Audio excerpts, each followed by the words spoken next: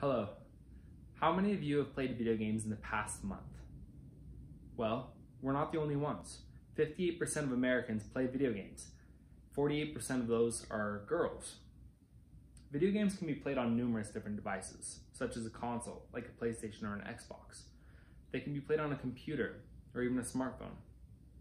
Now, how many times have you heard video games are a waste of time or that they socially isolate you and that they rot your mind?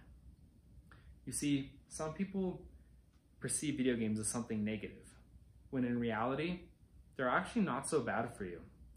Today, I'm going to talk about video games and how they are not bad for you.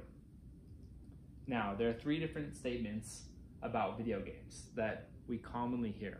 The first being that they are a waste of time.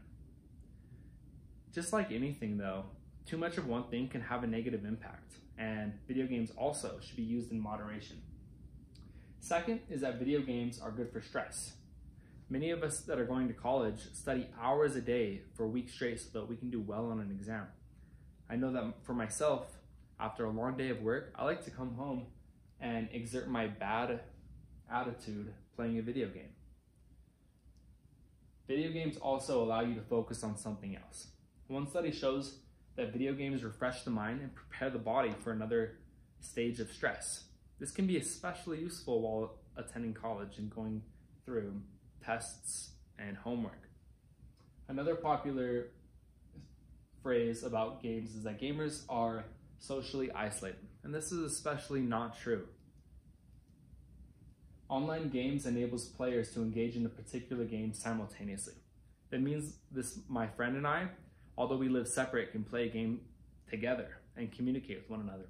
And depending on the game we're playing, whether we're solving a quest or doing a puzzle, it requires us to communicate with each other constantly. The third point is that gamers have a large community. I'm sure all of you have heard of YouTube and I bet you did not know that 35% of the largest YouTubers are gamers. That means that a bunch of people are logging on and talking with one another about video games. Uh, in a study I conducted, 90% of 50 people at SUU have either played a game with somebody cooperatively or competitively. In a similar study, 70% of people in the US play video games with friends. A third popular statement is that video games rot your mind. And like food, video games also provide certain benefits depending on the video game you're playing. A few examples of these video games is action games. A 2014 January issue of American Psychologist points out that action games improve cognitive performance while all games improve problem solving.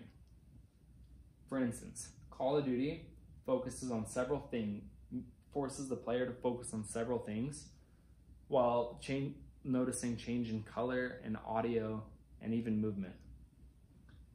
This requires quick hand-eye coordination. According to Rochester Trained, players make faster decisions without losing accuracy. Another type of game is a puzzle game.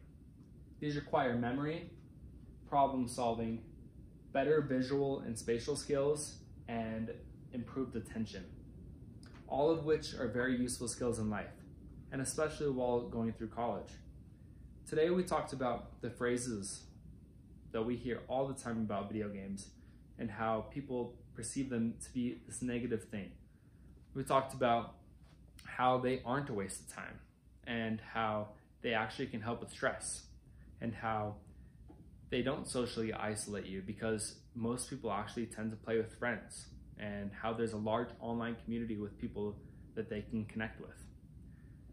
Third, we spoke about how video games do not rot your mind and instead they improve coordination, memory, cognitive performance, problem solving, and even multitasking.